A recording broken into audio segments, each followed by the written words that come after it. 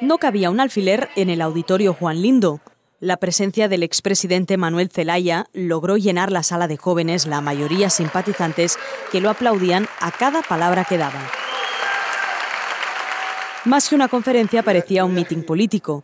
El foro sobre las izquierdas en Centroamérica contó también con el testimonio del diputado salvadoreño Rolando Mata, miembro del Frente Farabundo Martí para la Liberación Nacional, y de Aníbal García, secretario general del movimiento Nueva República de Guatemala. El foro político ha servido para representar el pasado, el presente y el futuro del movimiento de las izquierdas en Centroamérica.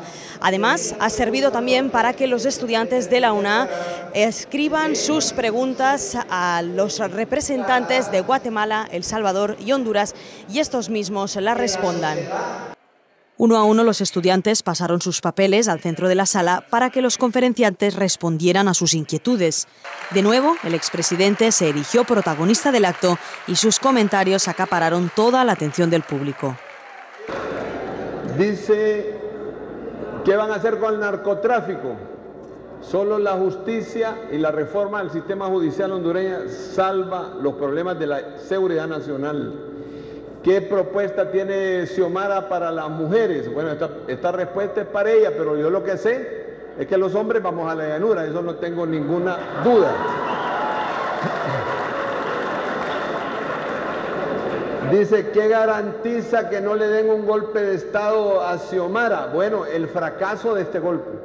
Este golpe fracasaron. ¿Cómo van ellos a pensar en otro? Después dice desarrollo sostenible, claro que sí, es parte del proceso. Después dice por qué se ha ordenado al frente que no se movilice. Esto no es cierto, todo lo contrario, ¿qué medio utilizó para entrar al país clandestinamente en el 2009?